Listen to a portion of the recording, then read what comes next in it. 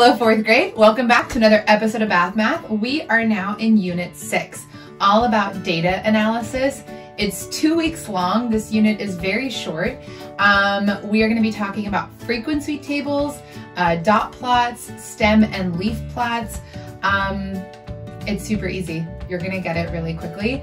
Um, it's can you read data, meaning can you tell what a graph or a chart is telling you? Can you answer questions based off of the numbers on that graph or chart? Um, you'll see what I'm talking about in just a bit, but this week we'll, we, we will be focusing on frequency tables and dot plots. Next week, frequency tables and stem and leaf plots. Um, there's a little bit of a difference between the two, but you'll catch on pretty quickly. Um, so let's get started.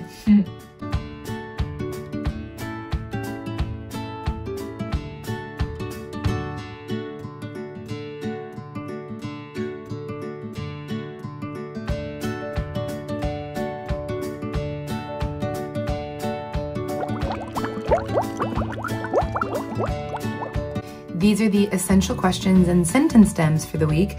Pause the video to read over them, but they are also available on your Math Blend page.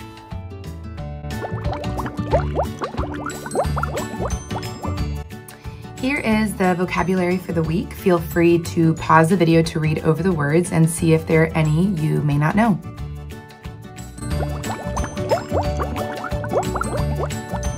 Okay, I'm not kidding when I say it's really simple. Um, frequency tables just means a table to list each item and the number of times it occurs. So frequency is just like a big fancy word to say number of times something happens, right? Um, or number of times somebody says, a class might say they have something. So for example, um, if I were to make a frequency table um, of fourth grade and what pets they have at home, uh, let's say I listed dog, cat, and fish. Those are the pets. Um, and then I would tally up. So I would go around, what do you have? A dog. What do you have? A cat. I would make tallies of whenever somebody said I they had something, right? So let's just say for example's sake, uh, da, da, da, I went around for about 10, 15 minutes.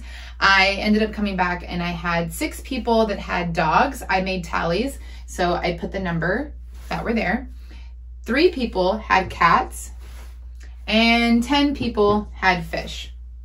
That's it. That's a frequency table. How many I made tallies. I saw how many times or how many people had dogs, how many people had cats, and how many had fish. I added up those tallies and I made the numbers. That's it. So that's what a frequency table is. Now, the complicated part, or not the complicated, but more difficult part is when they ask you questions about it. So how many more, you know, fish than dogs, or maybe how many all together? Like you're going to get questions based off of a frequency table. Um, and see that you understand the data that's within it within it. So um, hopefully this makes sense, but if not, I'm going to jump into another example um, and then we'll talk about dot plots, but this is super simple. You should be able to get it. And if not, we'll have plenty of practice this week to get there, okay? okay, so these are examples of other frequency tables. Um, you could even make up your own if you wanted to survey um, your class, your family, your friends, whoever you wanted to ask questions to. These are just a couple that I've thought of. Um, how many coins people had in their pockets.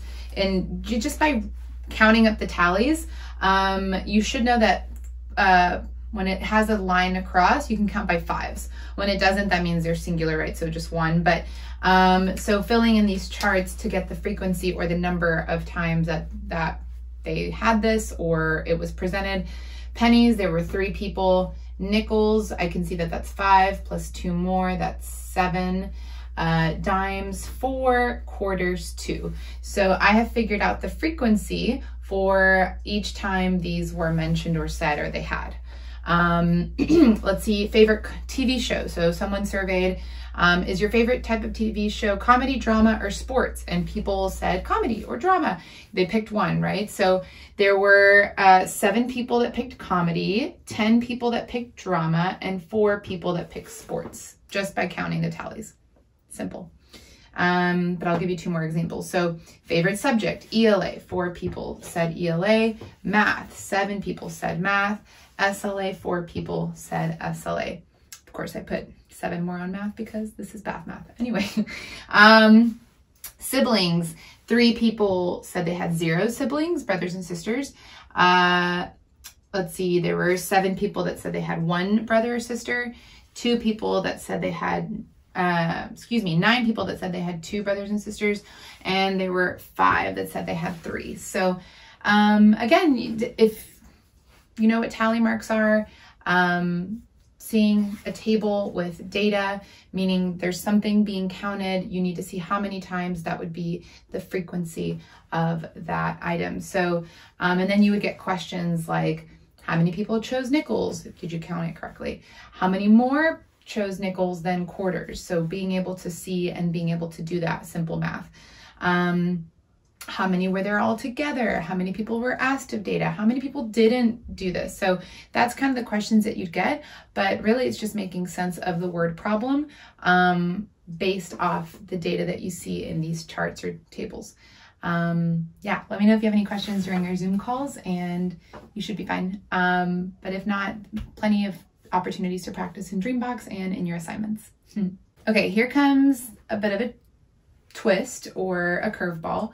Um, let's say you get a list of these numbers and one of the test questions asks you or you know problems ask you to make a frequency table based off that. Where would you start? What would you do? You know it has to be a table so we can start by creating a table. Um, so this isn't asking about favorite tv shows or dimes or siblings or anything. What, what is it showing me? Just a bunch of numbers right? Um, but I can see that some of them kind of repeat themselves, some of them don't.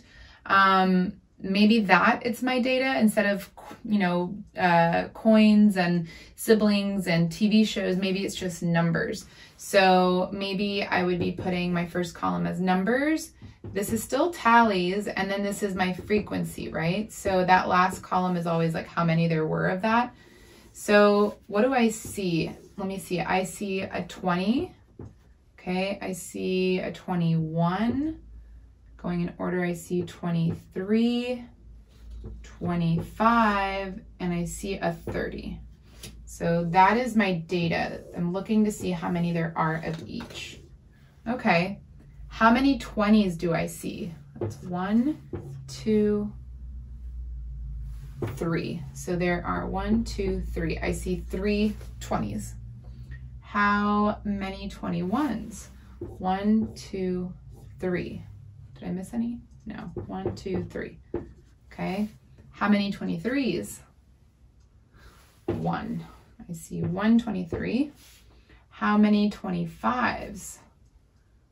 One, two. Okay. How many 30s? One, two, three. One, two, three. Okay, so I just made a frequency table based off this data. I saw the numbers that they had listed. I saw how many times they appeared and I wrote down just for my own information so that I could see. Um, I added up the tallies and I saw how many I have total of each. Then based off of this table, I can answer more questions, right? So how many 21s were there? Three. How many more you know, 21 or 20, 21, and 30 all together were there than the 25s. So you can kind of go based off there. The interesting thing though is that you can also do the same thing with this data, not create a frequency table and make a dot plot. Let me show you what dot plots are, and then we'll come back to this example and show you how you can do the exact same thing, okay?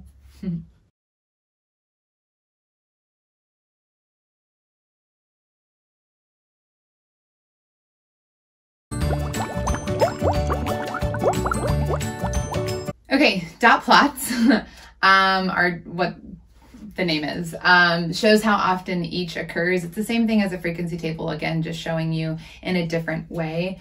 Um, here's an example. I wrote down a, basically a number line um, and titled it minutes. So these are the amount of minutes, zero minutes, one minute, two minute, three minute, four minutes, so on. I surveyed a class to see how long they take to eat breakfast. Um, I had two people tell me they take two minutes. I had three people take me, they tell me they take th uh, three minutes. I had four people, um, excuse me, two people tell me they take four minutes. I had one, two, three, four, five, six people tell me they take five minutes to eat breakfast, four people that they take six minutes to eat breakfast, and three that they take seven minutes to eat breakfast. Um, that's all it is. So looking at this data, you can see quickly which one has the most, right? Because it's the highest. So five minutes has the most amount of people, or that's the most amount of people that take to eat breakfast. Um, and then the least, you can see that the least amount of people take about four minutes. So um, not as many take that long. So um, yeah, this is just another interesting visual to see data um, and to be able to analyze it to answer questions for your problems, um, exercises, and test questions and things like that. So um, let me show you a couple more examples, and uh, then this week you'll be able to create your own um, and answer some questions from those. So uh, yeah, let me know if you have any questions during Zoom, but let me show you more. Okay, um, here is some data, and they're asking us to put it into a dot plot. Um, all I did was create a number line that had in within the range of these numbers. So I saw 15s, I saw 19s, so I kind of stuck within that. Um, and then I also saw fractions, which is interesting. So out of fourths, so I just assumed every piece was out of fourth, which it is. So one, two, three, four, one, two, three, four. So I can still plot those within, right? Um, going back to our fractions unit. Um, so looking at these numbers, I can then begin to plot them and cross them out and make sure that I have them all on here. So I see a 15, I'm gonna cross that out. I'm gonna put a dot on 15. I see another 15, I'm gonna put another dot. I see 16 and 3 fourths, so 16 and 1 fourth, 2 fourths, 3 fourths, so 16 and 3 fourths, that goes there.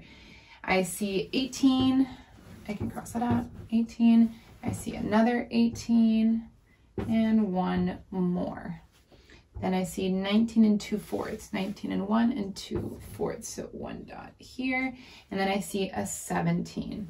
So that's my dot plot. That's it. Based on the data that they gave me, I'm able to cross all of these out because I already placed them on here. I can see which one has the most, which would be 18, right? I could answer that question if they were to ask me.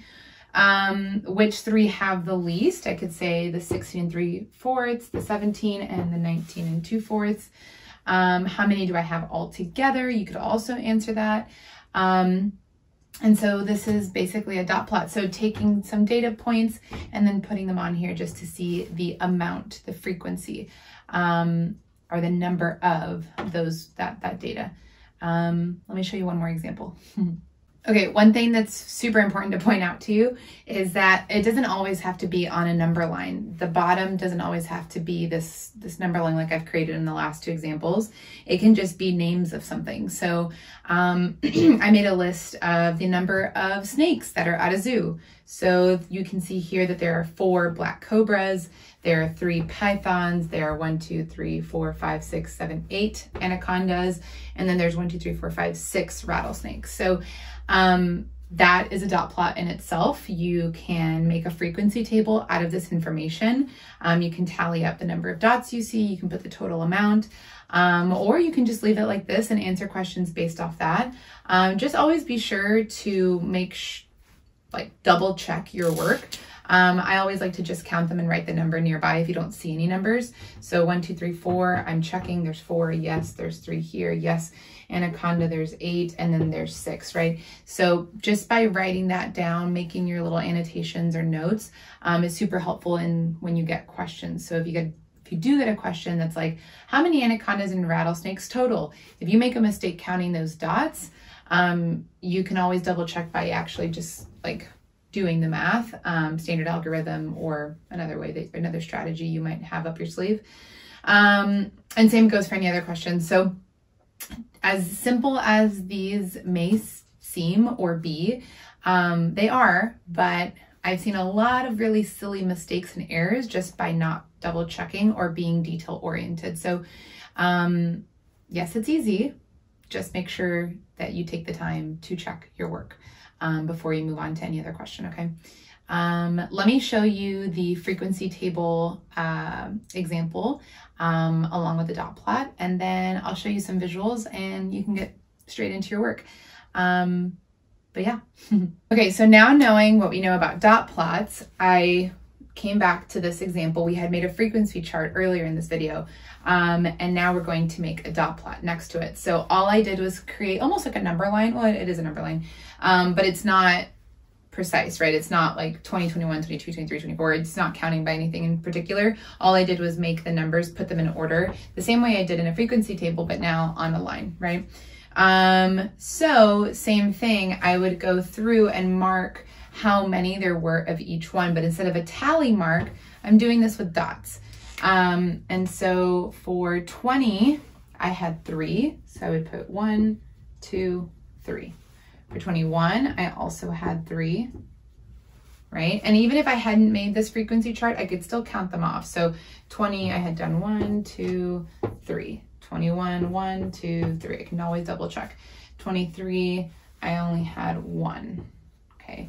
25, I had one, two, two. Did I have two? Yes, right? And 30, I had one, two, three. So it's just another way to see data.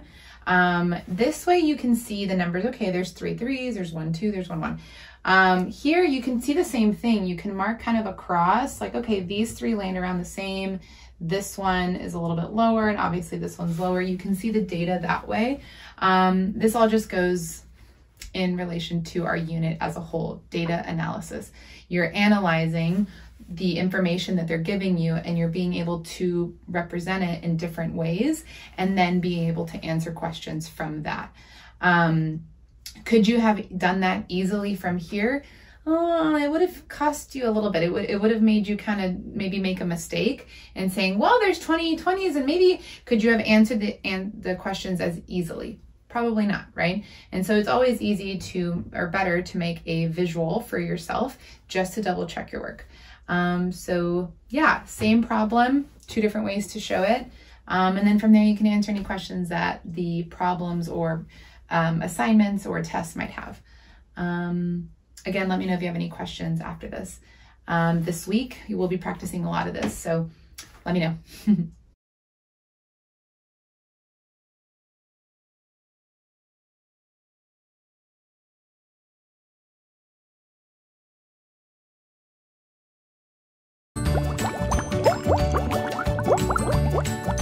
Here are some images of anchor charts that we would have had in class, as well as ideas for tools that you can use at home. Uh, pause the video to see if you understand each image or write down any questions in your math journal that come up. You can also copy these into your math journal to have as a quick reference.